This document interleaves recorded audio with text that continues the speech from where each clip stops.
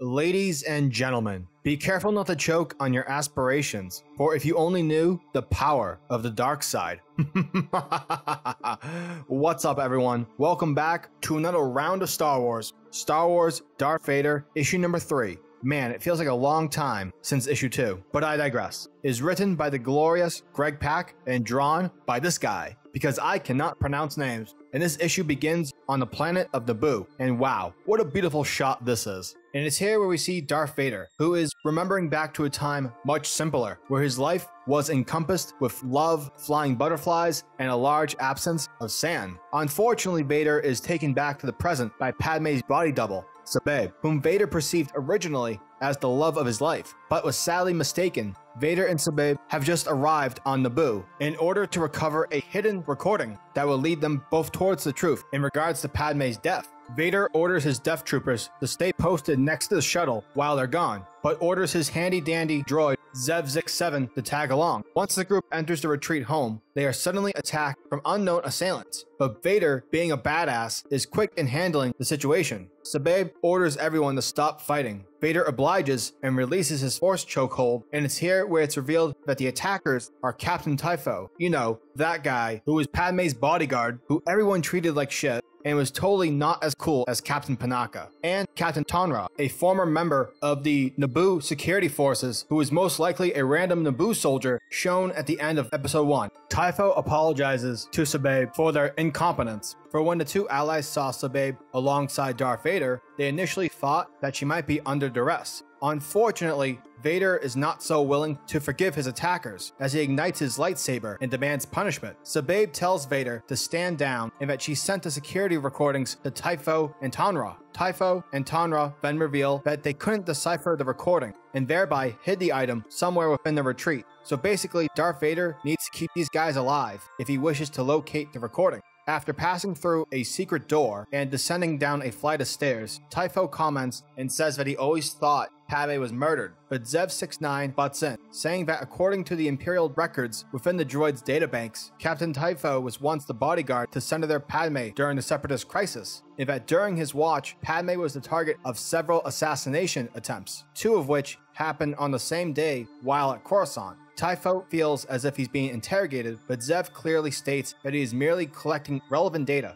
Vader asks Typho on when was the last time he saw Padme, and he tells him after the clones destroyed the Jedi Temple on Coruscant, for she told Typho that she insisted on traveling to Mustafar by herself, claiming it was a personal matter. The group eventually comes across an old Gungan sub, which they take in order to reach their destination. Along the way, Zev69 begins to ask Tonra questions. Though Imperial records state that Tonra was present during the fighting against the Trade Federation occupation, everything else after that is lost. And according to Tonra, once Padme became a senator, he and Sabé were sent by Padme to go undercover on Tatooine in order to free Anakin's mother, Shmi Skywalker. But unfortunately, by the time they arrived, Shmi had already been sent away. So instead, they managed to free at least a dozen or so whom were trapped in slavery. Suddenly, the group's sub is attacked by a giant Colo Claw fish, which manages to crush the sub. But luckily, the group is able to escape just in the nick of time. And it's with that where Darth Vader unleashes his pent up hatred against the Colo Claw fish, providing his group enough time whilst letting a second Colo Claw fish swim over to finish the job. The group manages to find shelter within a deserted Gungan structure. Both Vader and Sev 69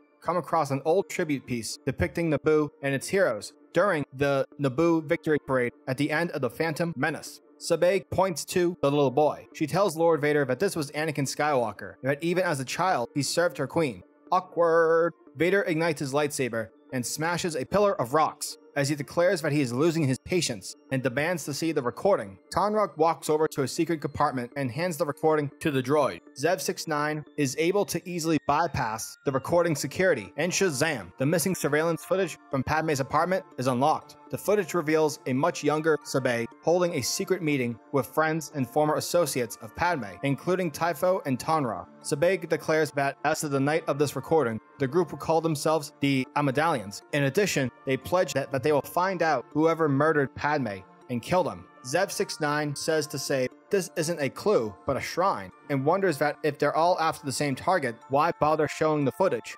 Typho reminds Vader the last time he saw Padme, she went to Mustafar to find Anakin. Years later, the group learns of Vader's domain. And by putting the pieces together, the Amidalians seem to believe that Darth Vader is the one responsible for the deaths of both Anakin Skywalker and Padme. Vader, appearing fed up, admits that he did. But before the Sith Lord can do anything, Tonra activates a button, which is signaling a gargantuan sea monster to come over and to swallow their location whole. Star Wars Darth Vader issue number 3 was a fine issue. I did enjoy seeing the return old Naboo character, Captain Typho. It's not that I enjoy his character, I actually kind of hate him, per se, but I find it totally believable that Typho would attempt to solve the death of Padme, something in which he clearly feels responsible for. Seeing Vader continuing to be thrown off by past memories and by the presence of Sabé herself is fantastic. It definitely keeps playing field in a ways even. My only problem with this issue is I feel in regards to the main plot, not much happens. Also, at the end of the comic, Vader out of nowhere admits to having both murdered Anakin and Padme. Like, what? I understand the whole murdering of Anakin, since the Anakin within Vader died back on Mustafar, but isn't the whole point of the series to find out exactly how Padme died instead of a excuse being a broken heart? I don't know, perhaps there's something I'm just not seeing. But overall, I did enjoy this issue. Star Wars Darth Vader issue number 3 gets a 7.5 out of 10. Giggity goo.